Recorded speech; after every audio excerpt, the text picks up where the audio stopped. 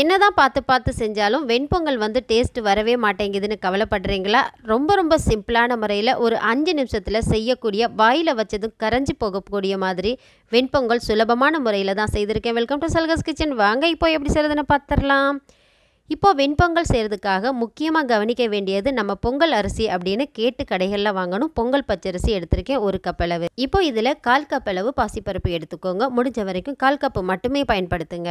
நிறைய பேர் அரை கப் அளவு பயன்படுத்துவாங்க. அந்த பொங்கல் வந்தீங்கன்னா சாப்பிடும்போது தெகட்டி போயிடும் குழந்தைங்க விரும்பி சாப்பிட மாட்டாங்க. இப்போ இது எல்லாத்தையுமே மூணு நாலு தண்ணியில் நல்லா அலசி எடுத்துகிட்டு வந்துட்டேன். இதை இப்போ வந்து குக்கருக்கு நம்ம மாற்றிக்கலாம் குக்கருக்கு மாற்றினதுக்கப்புறம் நம்ம ஒரு கப்பு அளவு எடுத்திருக்கோம் ரைஸு. நம்ம ரைஸோட அளவுக்கு நம்ம தண்ணி வச்சுக்கலாம். ஒரு கப்பு ரைஸுக்கு நாலு கப் அளவு தண்ணி சேர்த்துக்கோங்க.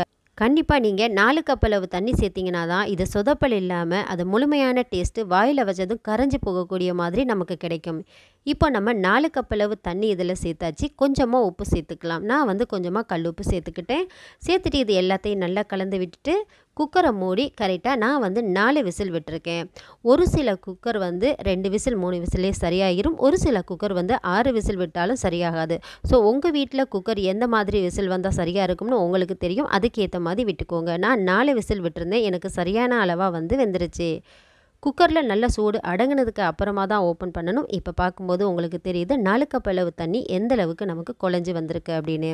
இந்த பக்குவத்தில் தான் இருக்கணும். ஆல்ரெடி நல்லா மசிஞ்சு வந்திருக்கு. இருந்தாலும் நம்ம கரண்டியை வச்சு கொஞ்சம் இந்த மாதிரி மசிஞ்சு விட்டுக்கலாம்.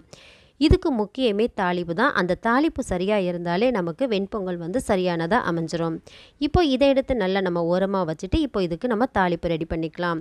ரெண்டு டேபிள் ஸ்பூன் வரைக்கும் நெய் விட்டுக்கோங்க. ஒரு ஸ்பூன் வரைக்கும் மிளகு. கடுகு சேர்த்துக்கோங்க. ஜீரகம் ஒரு ஸ்பூன் சேர்த்துட்டு இஞ்சியை சின்ன சின்ன பீசஸாக கட் பண்ணிவிட்டு சேர்த்துட்டு முந்திரி நாலஞ்சு வந்து சேர்த்துக்கோங்க. அதை உடச்சிட்டு சேர்த்துக்கோங்க. கருவேப்பிலையும் கொஞ்சமாக சேர்த்துக்கோங்க. இதில் பச்சை மிளகாய் சேர்க்குறதுனா சேர்த்துக்கலாம். என்னோடய பசங்களும் சாப்பிட்றாங்க. ஸோ காரம் சாப்பிட மாட்டாங்க.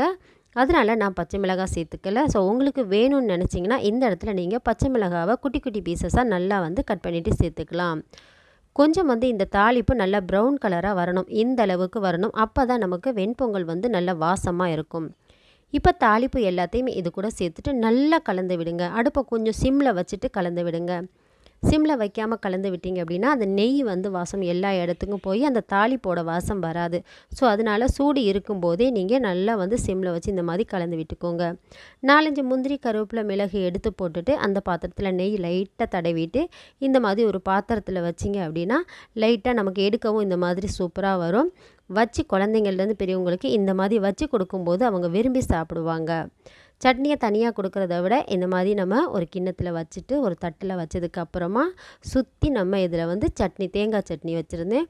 ரொம்ப சுவையாக இருந்துச்சு. கட் பண்ணி சாப்பிட்றதுக்கு. கண்டிப்பாக இதே போல் இதே போல் ஒரு பக்குவத்தில் நீங்களும் ட்ரை பண்ணி பாருங்கள் இதோட டேஸ்ட் எப்படி வந்துச்சு அப்படின்றத கமெண்ட் பண்ண மறந்துடாதீங்க. லைக் அண்ட் ஷேர் பண்ணுங்கள் தொடர்ந்து நம்ம சல்கஸ் கிச்சன் சேனலுக்கு உங்களுடைய ஆதரவை கொடுங்க. இது போல் இன்ட்ரெஸ்டிங்கான வீடியோவோட நெக்ஸ்ட் டைம் பார்க்கலாம். பாய்